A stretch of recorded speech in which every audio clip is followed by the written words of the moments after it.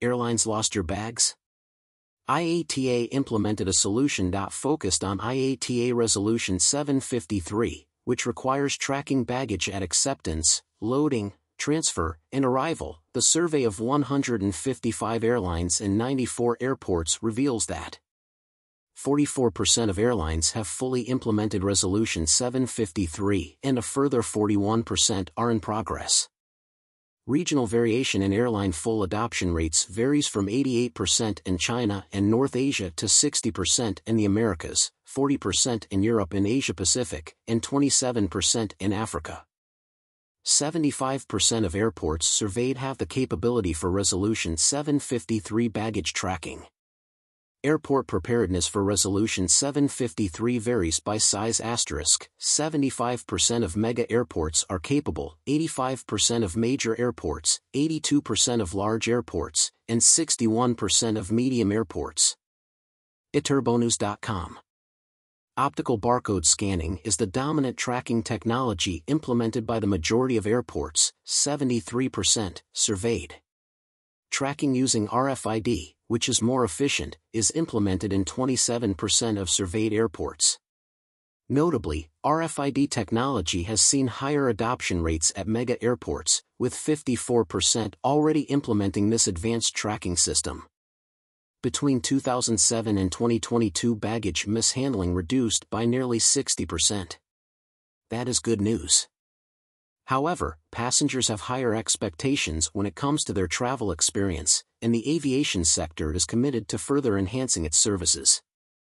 By implementing bag tracking systems at various stages such as acceptance, loading, transfer, and delivery, the industry can gather valuable data for improvement purposes.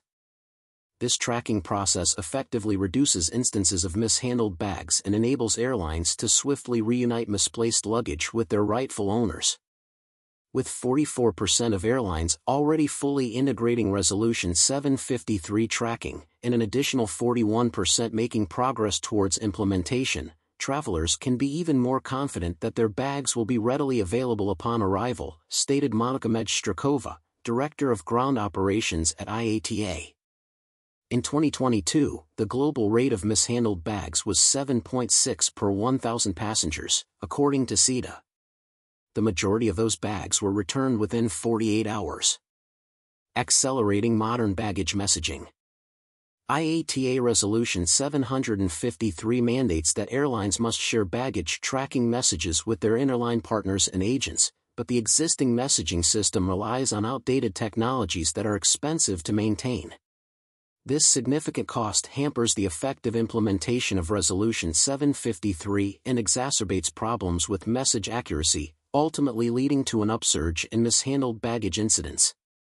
IATA is spearheading the industry's shift from Type B to contemporary baggage messaging using XML standards.